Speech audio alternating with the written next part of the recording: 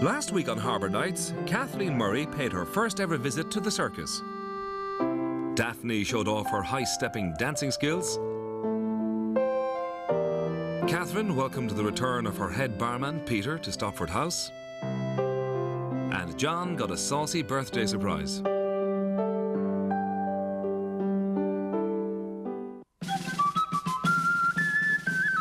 Courtown's end of season Fáilte Festival is in full swing. Sergeant Mick O'Connor gets ready to go out on patrol.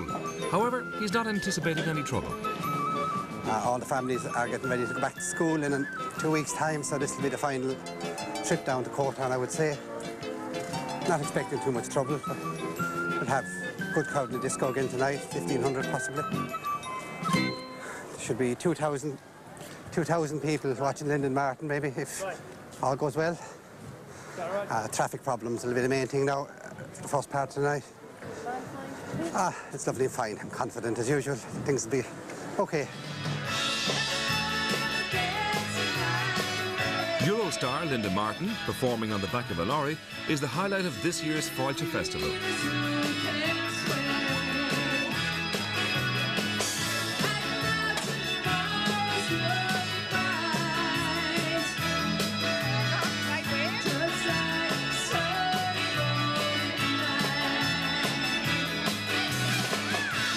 Everybody seems to be enjoying themselves, but there's someone in the crowd that Linda doesn't know about. Father Paddy Norton is Courtown's famous healing priest. He loves to sing. And smile, smile, smile. And he loves to bang out a tune on the harmonica.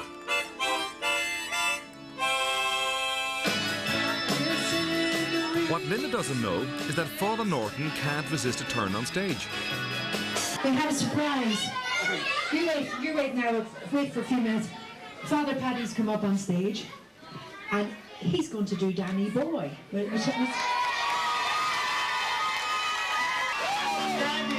if you see once more that you love me, well then I shall sleep in peace until you come to me. Yeah, you're getting value for money tonight.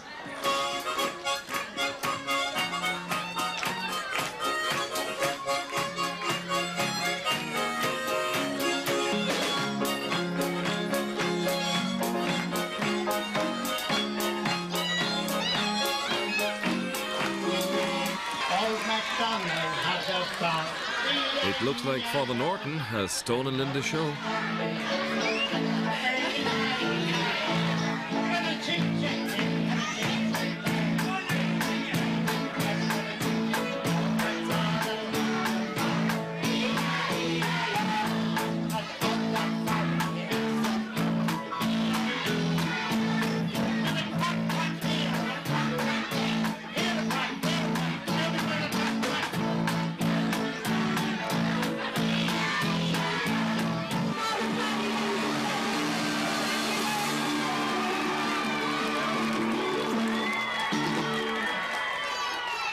It was beautiful. I enjoyed that. It was lovely. And it's great to see the children so happy and singing and everybody enjoying themselves. And I'm glad I'm part of it because that's our job to be part of it. Thank you very much. Alright, so let me get warmed up with this one. I'm going to see Catherine Somerville, the proprietor of the Stopford House Hotel. Tonight is the last night of the line dancing sessions at Stopford House with local musician Tommy Carroll.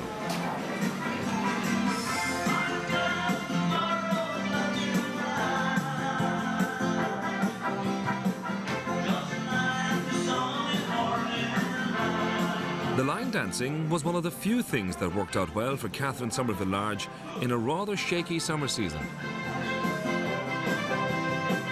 But perhaps she missed out on the best local act of all.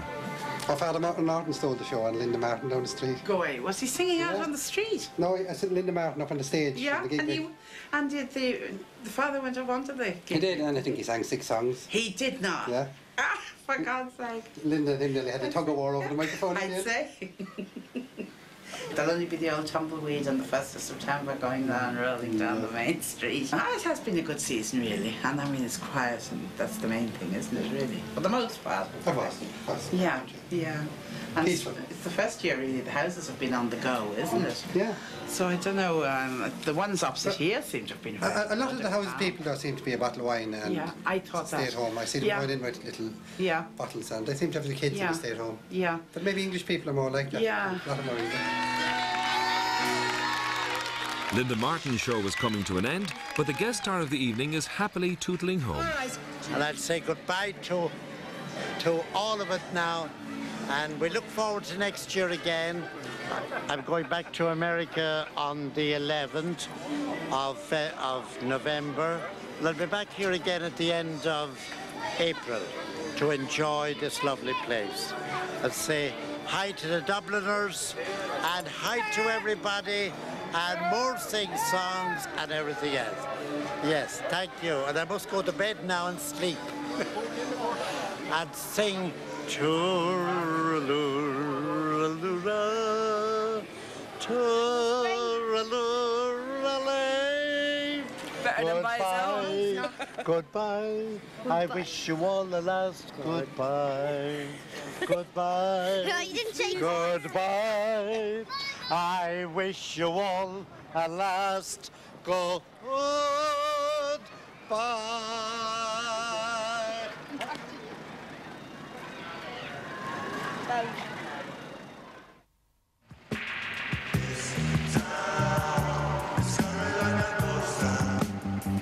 It's a dreary, drizzly start to the last day in Courtown for Catherine Murray and her caravan gang.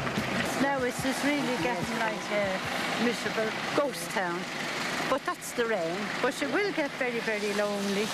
And it's when it's like this then you say, ah, well, the, summer is gone and you get back to your fires and the scent of the. Have you and to all get of much that. in thanks? Get little bits and bobs that I said. Don't you have a last goodbye, Declan. We'll be off This now. our last ramble This our around. last ramble around. Heading back to the big smoke. And how's it like now in the winter down here? It's beautiful then. Yeah, this is really peaceful. People in the city think that we have nothing to do here in the winter time. You'd, you'd be amazed mm. at, at the things that goes on. Yeah, goes on, yeah. In the houses and that, you, you great fun, yeah. Will you miss us? Of course we will. Oh, Of course we will. now. No, no, honest to God, we will. You miss us. It gets lonely. It's, it's lonely for about three or four weeks. And then you get And then you into set into day. another, another, Yeah, that's what I was Yeah. saying now Yeah. to Annie. another When routine. We go home, we hate going home, and you get home and You miss you say, Yeah, oh, she's like do. a devil, you better leave her alone. But after a couple of weeks then you, Get back in.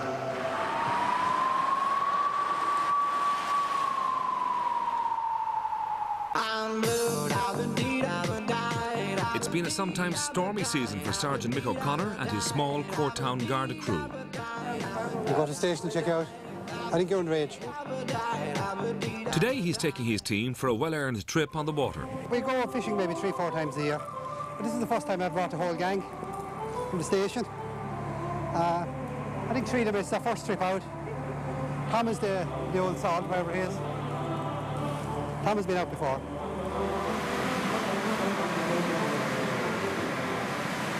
Courtown has always been uh, a fishing village primarily.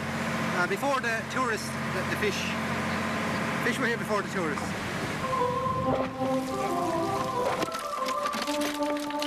The seas around Courtown are crawling with an ugly sea snail called the whelk. Whelks are not popular on local dinner tables. Instead, they're exported as a delicacy to Korea and Japan. But Mick and the gang are happy to land a bumper haul of gleaming silver mackerel. Hey! Oh, mackerel! Hey! Nobody, what do you do with Look at this! Well done! At the Woodside Holiday Estate, Daphne O'Donoghue prepares for an end-of-season bash. We're having a barbecue this evening for all the uh, guests at Woodside, an end of summer barbecue. So uh, I'm busy running around between checking people in and uh, getting some uh, food ready. So uh, you're just gonna have to bear with me. It's, it's an end of summer barbecue and it's just really, we, we, we've had a really good summer. And, um, you know, the, the people have really almost made it for us, so uh, we just want to give something back this week. So that's what we're doing tonight.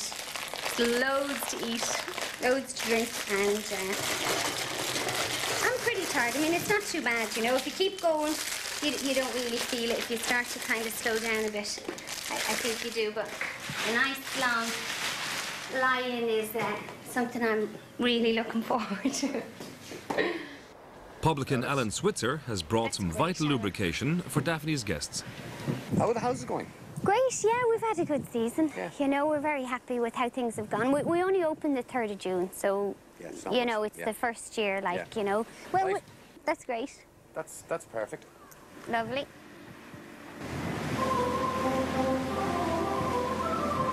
It's been a successful day's fishing for Mick O'Connor and his Garda crew. And for once, the much maligned whelk is going to make it onto the menu of a local restaurant. When they tell Menino, uh, Dara asked me to get him some whelks. He's going to make some dish, which I have to sample later, he says. Uh, I don't know what it's to hold down whelks, but we'll try. Hello, Dara. How are you, Mick? You well? Brought you some whelks. Is it? Very good. I believe you're going to do something with them. yeah, throw them out the window.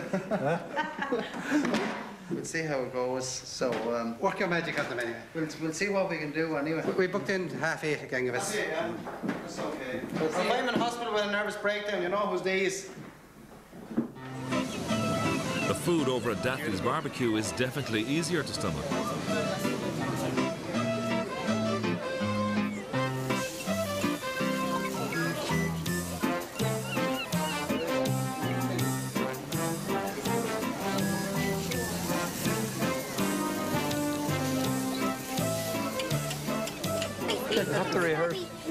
Dunbar is here this evening, and Noel is a, a member of uh, a local band called the Kick-Ass Cuckoos, and they recently launched their CD. So Noel's going to just uh, play a few tunes first. Postmaster Declan Dunbar's son, Noel, has written a surprise song to celebrate the close of the 99th season in Courtown. Have you stood by the ocean and watched silent steamers sail safely across creamy white foam? Did you skipper or crew a sailboat old or new upon seas where you felt so alone?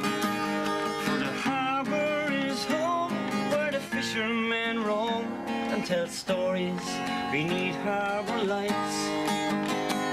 For the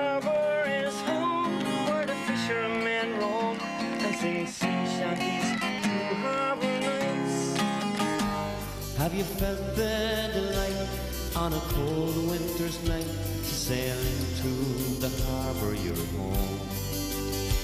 Did you suffer life across seas day and night to haul catch for your loved ones at home? For the harbor is home where the fishermen roam and tell stories beneath harbor lights.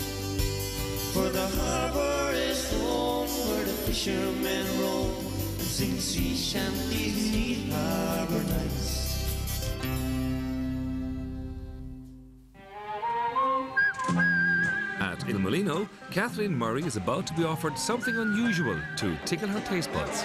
This is Murray, is it? Oh, how are you, Dara? How are Nice to meet you. Hands are wet. These are these are Working hands. queer, queer, Is queer, that- queer well things. These are the words, yeah. Oh God! They're- Do you know what they're like? They're like a, a winkle. They're sea snails. Oh God! There's no, there's nobody eats them much around here. Just, uh, I'll take, it- I'll take it, I'll take it out of the shell for you, right? It's a little, this is the little door. Yeah. It's part of the yeah. shell, It's right? like we call that the scab off the winkle. Yeah. We'll just take it out. Oh, good lord. Oh, Oh, no. Not tasting that. Oh, no, I don't think I would. You sure? I Would you like that- to try some? Would you like to try it, no? Not many people, not many people are keen I keen wouldn't on mind the shell, all right. The shell is nice, all right, I'd like the shell, yeah. Make a lovely ring, wouldn't it? Souvenir in my garden. Yeah. Should better go in and start walking again. We'll see you, Mrs. Murray. Thanks for coming up. Bye-bye. It's a pity you're not older, Amanda. He'd make a lovely boyfriend. You would be able to cook your dinner every day, how bad you'd be. Wouldn't that be all right? Yeah. It's been an erratic season for Catherine at Stopford House. Her staff weren't always up to gourmet standards.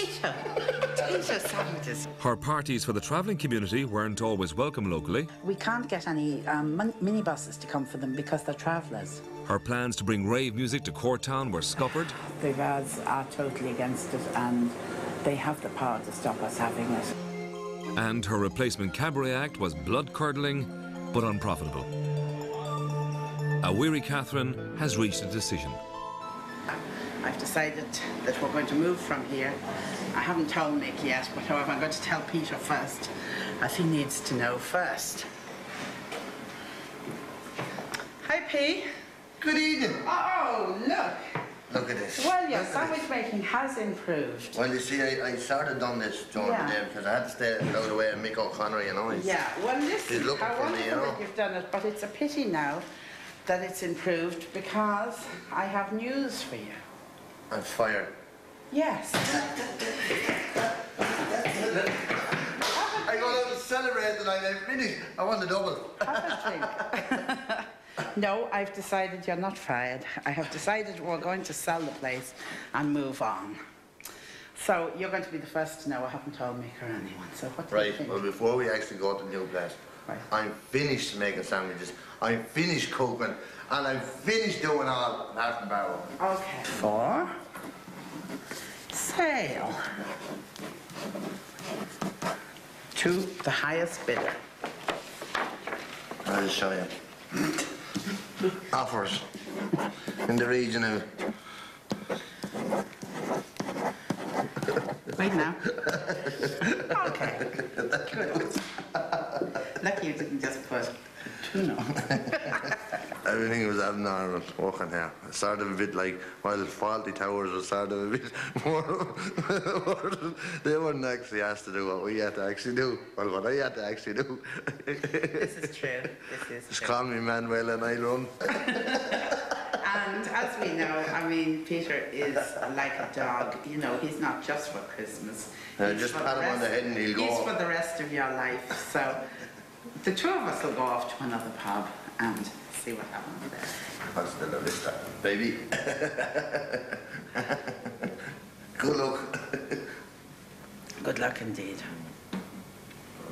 And good luck to Courtown. Mm. Might have many winters. They, they have many summers and longer summers. many, many, many long summers, what kind of recipe did Dara come up with to make the rather tough looking whelk attractive to the local palate? I chopped it up very fine. Um, and I didn't make it a total whelk dish. What I did was I added it into a chowder. But it's mostly whelk meat. It's, it's about 75% whelk meat. I added a few little bits of salmon. You can see the pinky salmon. Some vegetables in it. There's celery, leek, carrot. Reduced it down with white wine. Hopefully now we'll see what uh, Mick and the rest of our seafaring gentry think of it later on, you know, so... But uh, I've tried it and I'm quite happy with it. It's quite tasty, so... Um... What table is Mick at? Uh, Will Sergeant Mick O'Connor and his wife Stephanie enjoy Dara's fishy snail dish?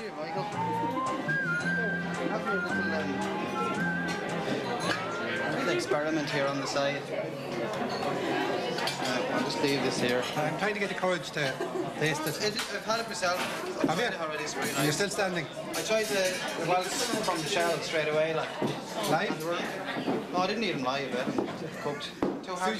They're too hard to get out when they're live. But, uh, I see the salmon. They're very nice, actually. I'll be brave. It's a very, very lean fish. I wonder, uh, should I take a, a hint out of this now that I've been asked to taste this first? Well, that's the salmon you're tasting anyway, so. Well, we'd start for that.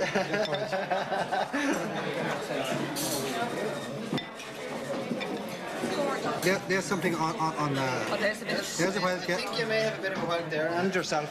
Yes. You'll know by the texture of it. Very strong. Yeah. Fishy taste. Yeah. But very nice. Too big. I think I think I'll stick to the salmon bits. I'm surprised. I, nobody around here actually has them on a menu, or and, and I'm surprised. I'm shocked. that's fine. And Eve could have got a fiver off of me out there today. If, if uh, she wanted the bet that, that I did well, I would say no. But it's quite nice. though. I'd have doubled the bet if I was you. Yeah. I'd have doubled the bet. No, the bet would be that I wouldn't need it. Oh. Enjoy your meal. Let's uh, wraps it up for tonight anyway. Um, I think Mick and everybody else was, was happy. Uh, it's kind of drawing, well, it's drawing near the end of the season now. The summer is practically over now, but the summer was brilliant. The restaurant took off really well. We were booked out almost every night. We've learned a lot, like, over the season. And uh, all I can say really is uh, we're looking forward to the winter. Courtown may be a small little hick town, but uh, I'm spending my winter here, folks.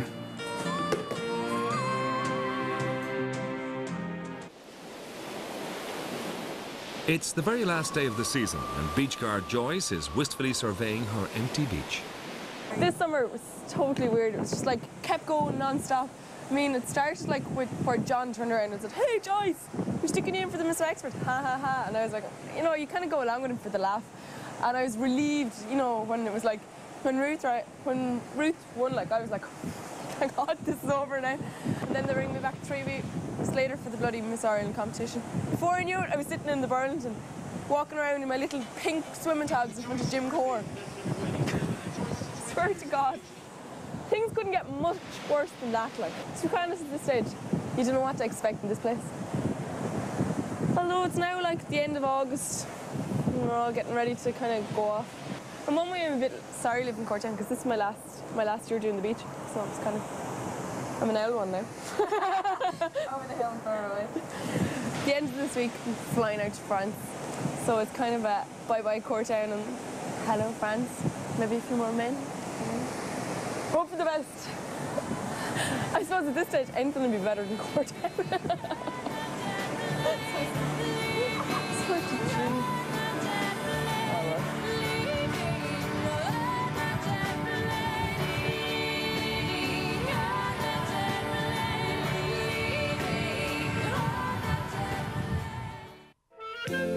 Back at the caravan park, Kathleen Murray is packed and ready for the off. Now say goodbye. Bye, caravan. Bless yourself leaving. There's a good child. Now you've all enjoyed yourself. I lock me door now. Shush out me door. We're saying goodbye to you all. When will we see you again? Next year, and you have to say goodbye. See you, Annie. See you goodbye. God yeah, bless. please God, yeah. And I'll give you ring during the winter, right? Well, yeah, yeah, sure. We'll meet up during the winter and anyway. See you. Goodbye. See you, Joan. Is your heart broken, Amanda? Oh, goodbye. Goodbye, caravan. Bye.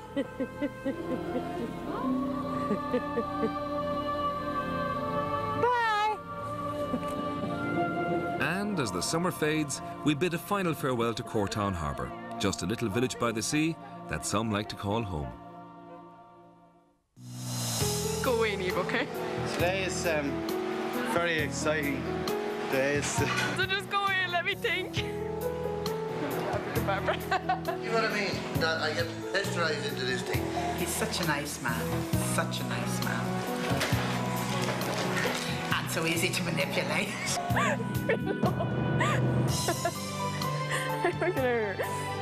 Well, you didn't get on our nerves, so we didn't know you were here.